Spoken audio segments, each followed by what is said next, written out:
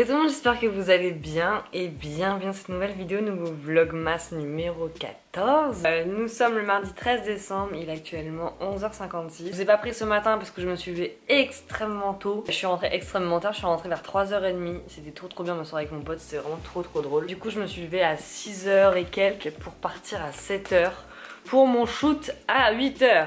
J'étais au bout de ma vie, je pouvais même pas prendre la caméra, j'avais plus de voix, j'étais une catastrophe. Du coup, bah j'ai fait le shoot pendant 3 heures et je suis rentrée à la maison là parce qu'en fait, il faut que j'ai cherché un colis à midi, euh, ça ouvre donc il faut que j'ai cherché un colis parce que sinon demain c'est renvoyé à l'expéditeur. Donc il faut que j'y aille euh, là tout de suite maintenant. Et ensuite, je rejoins euh, mon groupe de Big Data pour faire les. Vous savez, la vidéo Walking Dead et tout. Donc eux, ils vont faire le code, je sais pas quoi, ils vont je sais pas ce qu'ils vont faire et moi faut que je fasse la, vidéo parce que je commence à prendre du retard là-dessus. Donc il faudra que je me dépêche aujourd'hui. Voilà, ça va être une journée un peu speed. Je pense que je vais vous reprendre plutôt le soir. Et j'ai une conférence à 19h30 qui finit à 21h30 donc je vais arriver chez moi à 22h. Je sens que cette journée va être longue. Euh, voilà. Voilà, voilà, il faut que je me dépêche. Euh, je sais pas si je prends le colis et je retourne à la maison et je repars. Ça dépendra de la taille du colis. Euh, de ce qu'il y a à l'intérieur parce que s'il y a beaucoup de choses, je sens que je vais faire un aller-retour pour rien. Je suis fatiguée. Et je peux pas le récupérer ce soir parce que ce soir je finis très très tard donc euh, ça sera déjà fermé. Donc voilà pour le programme d'aujourd'hui. Ce sera du taf, du taf et encore du taf. Et, euh, voilà, donc c'est parti. Euh, pour ma tenue du jour, c'est très simple. Hein. J'arrête pas de mettre ce pantalon en ce moment. C'est... bah attendez, je retourne la caméra. C'est donc le pantalon qui vient de chez Shein, vraiment, je l'adore celui-là. Il est très pratique, il était vraiment il est très bien, enfin il est, parfait. Vraiment, même pour moi qui ai une taille assez euh, fine, il est pas trop grand, donc ça c'est vraiment cool. Et ça, ça vient de chez Jennifer. Donc voilà, c'est un petit peu petit col roulé. J'ai juste maquillé mes yeux, j'ai, enfin, comme on m'a maquillé et démaquillé, bah du coup j'ai trop mal aux yeux. Et donc j'ai juste remis du mascara là-bas. Euh, et, bah ça, j'ai pas fait mon teint, j'ai rien fait, je ressemble à un cadavre. Et je vais mettre mes lunettes, faut pas que j'oublie de les prendre. Mes lunettes anti-lumière bleue parce que là j'ai trop mal aux yeux, je n'en peux plus. Voilà, je suis fatiguée. et avant ça, avant de partir, on va se faire un cappuccino dans le thermos parce que euh, je sais que aujourd'hui je vais pas tenir. Et le forfait café va être énorme, donc euh, vaut mieux faire un thermos. Peut-être prendre un cookie avec moi, comme ça, ça sera fait. Donc j'ai du cappuccino là. Mais c'est un peu galère parce que je crois qu'il est périmé. c'est étonnant, je ne sais pas. Mais il est très bon, mais je crois qu'il est tout sec et tout, c'est plus possible de le prendre. Mais sinon, j'avais acheté ça à Lidl. Donc on va essayer de tester. Franchement, il a l'air pas mal, donc j'en ai mis que 8. Il fait 300 euh, ml, je pense. J'ai mis 2, sucres. Mais en tout cas, ils sont super bons. Genre, je suis un peu étonnée. D'habitude, c'est pas aussi, euh, aussi clean. Et du coup, je le remplis pas à fond. J'espère qu'il va être bon. Je ferme et je secoue pour que ça mélange bien. Il y a plein de mousse, je le sens dedans. Donc voilà, au moins ça c'est fait. Je vais aller chercher mon colis et let's go travailler. Je vais prendre mon Mac et mon iPad, je pense.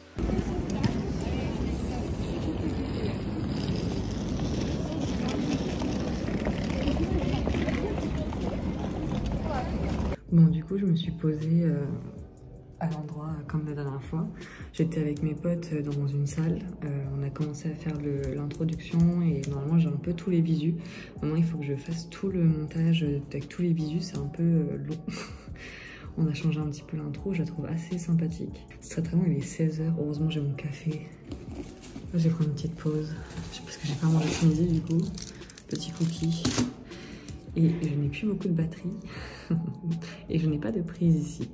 Mais euh, je vais vous montrer un peu ce que ça donne. Ça, c'est moi qui l'ai fait.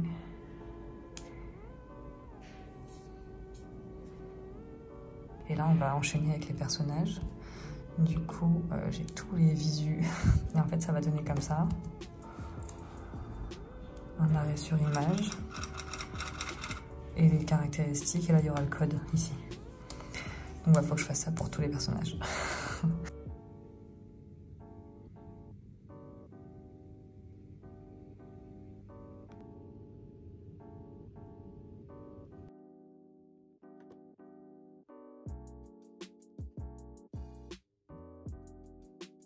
il est 18h39, euh, je viens de finir euh, les personnages de la série, donc euh, j'ai envoyé ça au groupe, ils ont trop kiffé.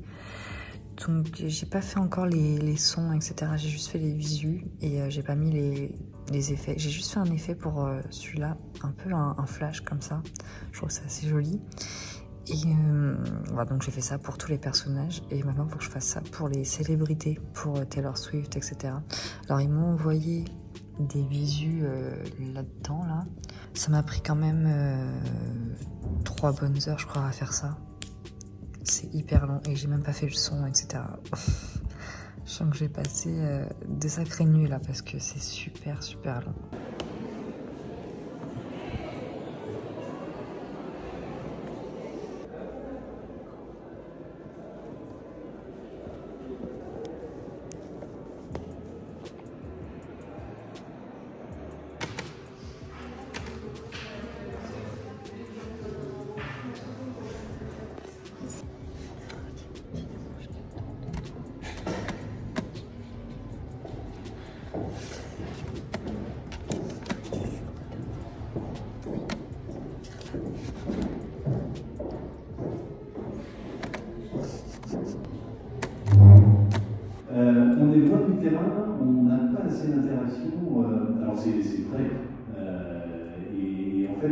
En souffre même, en tout cas, je, subis un peu.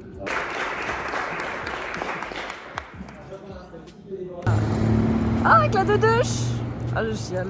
Regardez comme c'est beau. C'est magnifique. Bon, je viens de finir, il est 22h, je suis à bout. Je vais rentrer chez moi, il va être 23h. Mais c'était vachement bien. Il y a une voix qui, est vraiment très posée, très... J'ai froid par contre là. On va, plus parler à la maison. Ouh là là, j'ai froid, oui. Et vraiment très posé, très gentil, très mignon. Euh, J'ai pas osé lui demander une alternance. Genre il était un peu intimidant. Mais c'est vachement bien. Donc c'est organisé par la conférence Soufflot. Donc même des gens qui ne sont pas parisiens, je crois qu'ils peuvent venir. En tout cas, il y avait la copine de mon pote euh, en master là. Donc je pense que vous pouvez venir si ça vous intéresse. Et leur Instagram c'est conférence soufflot. Donc voilà, c'est sympathique. On va aller manger. On va aller monter la vidéo et je vais vous montrer aussi ce que ça donne le, montage de Walking Dead parce que j'ai vachement avancé. Bon, je viens de rentrer. Je ne sais pas quelle heure il est. 23h Je suis à bout. Du coup, j'ai pris un, un kebab voilà, parce que je devais attendre 15 minutes le tram, ça me saoulait, du coup je me suis dit allez hop hop hop. On va chez le kebabier. Et euh, à quel moment les kebabs c'est 7,50€ les gars, vous, m'expliquez? Alors je n'ai plus de voix, je suis extrêmement désolée. C'est mal parti pour les vlogmas, là disons pour la deuxième partie des vlogmas. Euh, mais je n'ai plus de voix, voilà, j'ai une tête affreuse, hideuse, horrible. Donc je vais réchauffer ça, on n'a même pas fait les calendriers de l'avant. Mais, mais, mais c'est vraiment euh, la débandade aujourd'hui. J'ai une tête. Vous êtes sur un mug. Ça a l'air trop bon, putain. Les frites des kebabiers là. c'est froid, mais. J'ai bu au moins un litre et demi de café. Je sais que c'est pas bon. Alors attendez, je vous pose. Bon, vous voyez rien du tout, ce n'est pas grave. Vraiment, c'est pas une grande perte. Je suis en train de me faire mon petit coca citron du coup. J'ai rien mangé aujourd'hui, à part mon cookie de tout à l'heure là. C'est vraiment pas terrible. Mon médecin va me défoncer. Du coup j'ai très très faim. J'ai tellement faim que j'ai envie de vomir. Et quand tu veux manger alors que t'as cette sensation de, vomissement là, c'est hyper galère d'avaler quelque chose. C'est un, cercle vicieux extrêmement chiant. J'aurais dû aller à Picard et tout, euh, prendre un repas. Le problème c'est que bah, je suis arrivée hyper en retard déjà au rendez-vous, donc euh, je me suis dit je vais pas aller manger parce que je suis déjà en retard dans le travail de groupe, mais c'était une mauvaise chose, sachant que je suis restée toute l'après-midi après pour monter. Donc je vais vous montrer le résultat juste après là. Et on va manger kebab Allez c'est parti Bon, je viens de voir euh, sur mon téléphone, j'ai 120 euh, notifs, alors qu'il y a 5 minutes j'avais strictement rien, vous n'êtes pas droit comme d'habitude. Je suis submergée par euh, tout. Là j'en peux plus. Là, ça y est, je, sature de tout. Je me dis, je peux pas répondre à tout le monde, c'est impossible. En plus, c'est pas des abonnés, c'est mes amis. Et je me, sens mal à chaque fois de pas leur répondre. Là. Il est 22h40 quoi. Aujourd'hui c'est l'anniversaire de, ma, de la fille de mes voisins. J'ai même pas emballé ses cadeaux, je suis même pas passé les voir. Ou alors je voulais trop faire ça aujourd'hui mais j'ai eu trop d'obligations. Et là j'ai envie de prendre un petit peu de temps pour moi entre guillemets dans, le laps de temps qui me reste là. Euh, je vais regarder un vlogmas celui de Salomé. Il dure 25 minutes. On va prendre 25 minutes juste pour soi en train de manger son petit kebab et en train de boire son coca. Ensuite je vais vous parler un petit peu d'un petit sujet que je voulais aborder depuis pas mal de temps. Donc euh, on va faire ça. Et je reviens tout de suite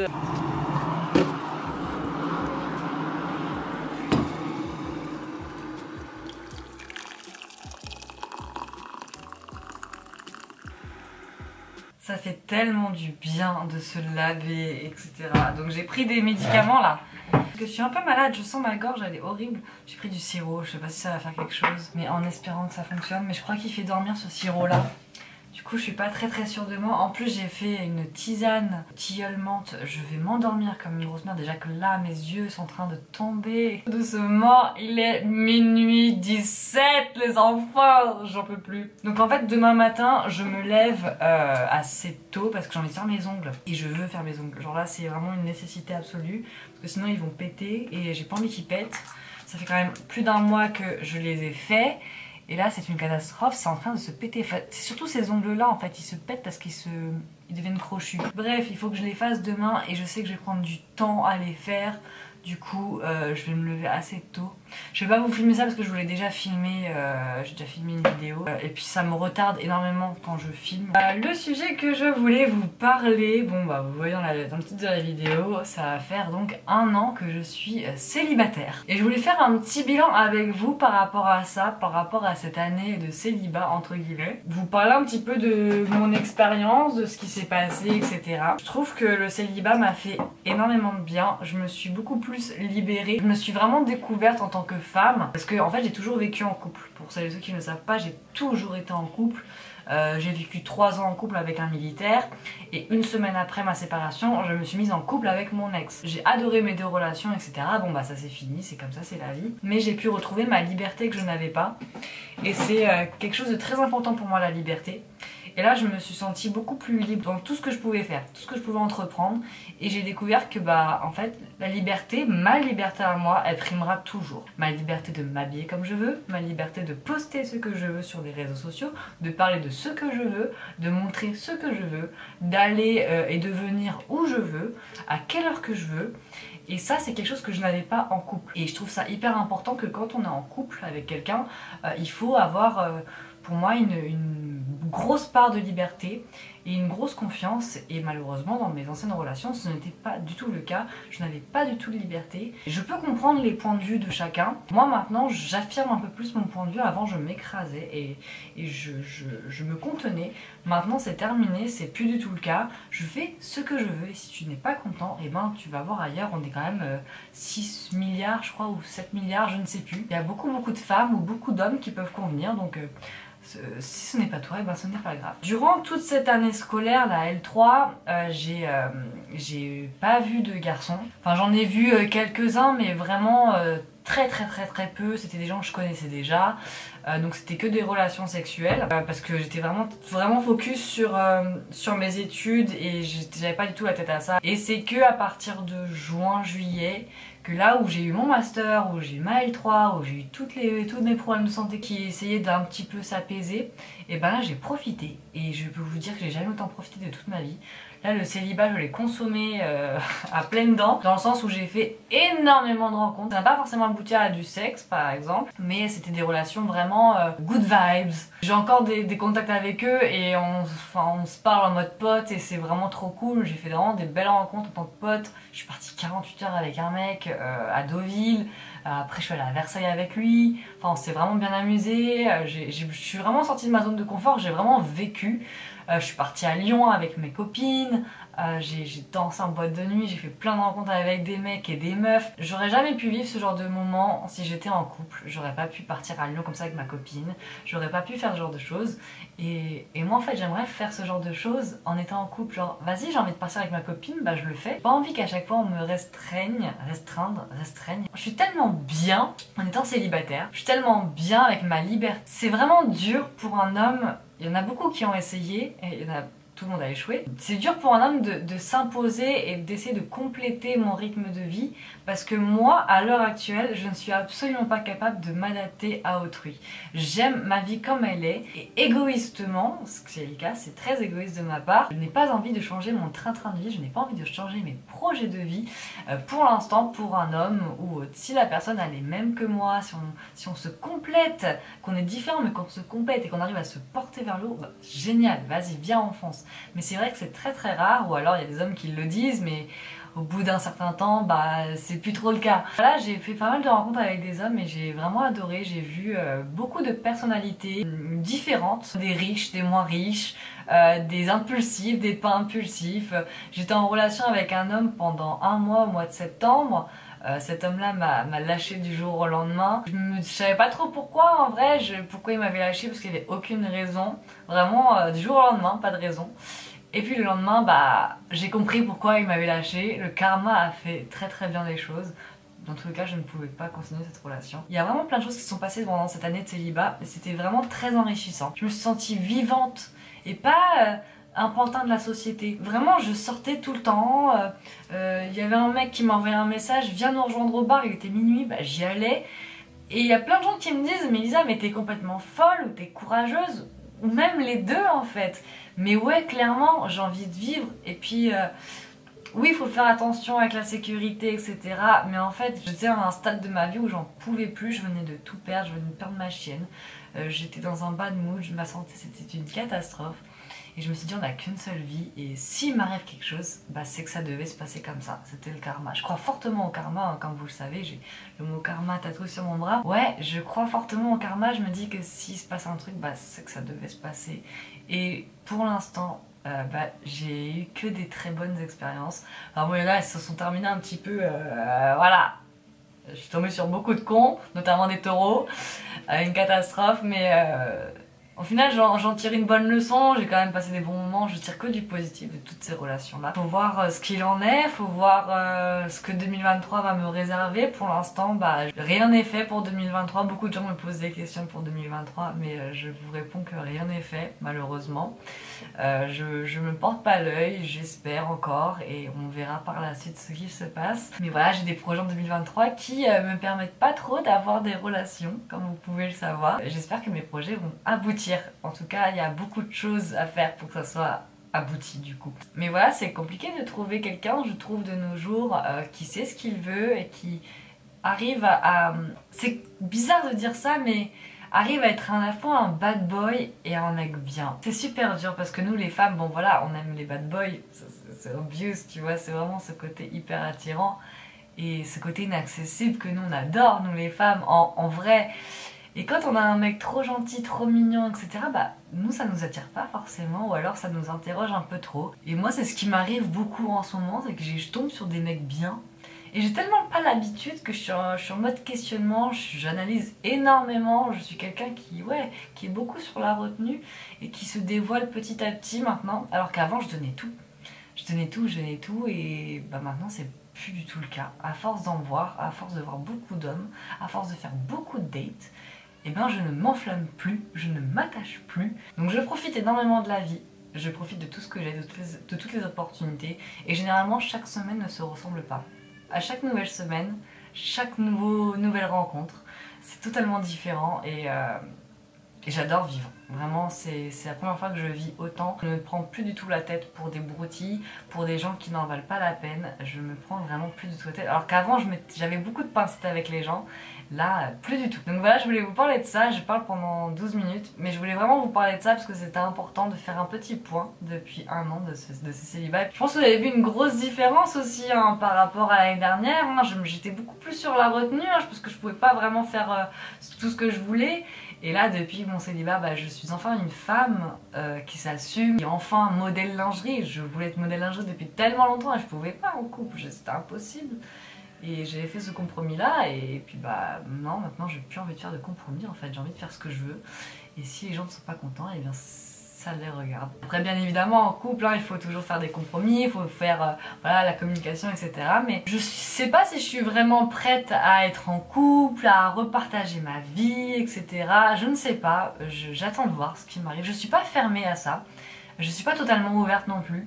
Juste j'attends de voir si ça me tombe dessus, bah, ça me tombe dessus, mais je suis pas à la recherche de ça. Enfin, en tout cas, je, quand je fais des nouvelles rencontres, je dis que je suis sérieuse, que je veux un truc sérieux, comme ça je tombe pas trop sur des bolos. Il faudra du temps pour que vraiment je dise ouais, c'est bon, je suis en couple, je suis à toi.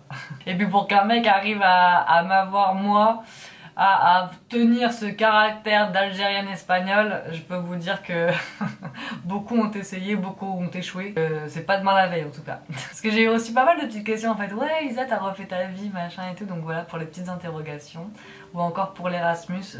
Pour l'instant rien n'est fait malheureusement. Je peux pas vous dire oui, je peux pas vous dire non. Rien n'est fait. Bref, je vais me sécher les cheveux. Il doit être euh, minuit 47, un truc comme ça. Euh, je vais me sécher les cheveux et je vais me faire des nattes collées comme ça. Demain, j'aurai les cheveux ondulés, j'aurai pas besoin de, de me coiffer.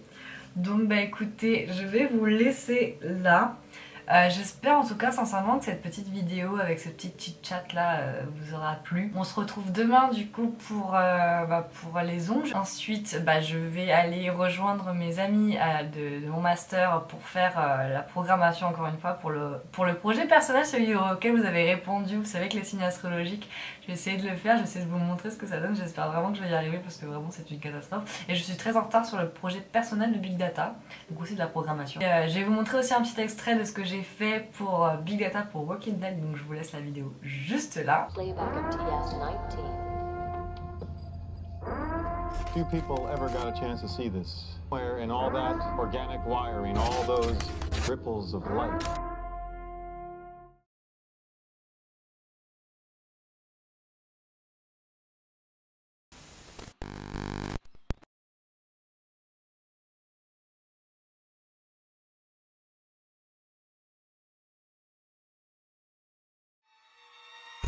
Nous sommes en guerre.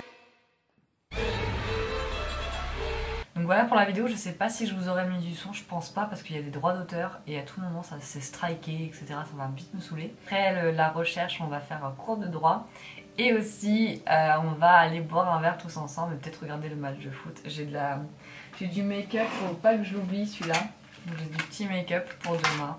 Voilà, je regarde pas forcément le foot, mais vas-y, c'est l'occasion avec eux, je les aime beaucoup, donc on va regarder le, foot, on va faire un petit effort, même si on est assez fatigué là. Donc bref, j'espère sincèrement que cette vidéo vous aura plu. N'hésitez pas à liker si c'est le cas, à vous abonner à mon compte Instagram, c'est ElisaBRTOF, je vous fais une petite story par jour, n'hésitez pas à aller checker. Euh, n'hésitez pas à vous abonner à ma chaîne juste là, si ce n'est toujours pas fait. Je vous mettrai d'anciennes vidéos juste en bas. Je vous fais d'énormes bisous et je vous dis à demain pour le prochain Vlogmas.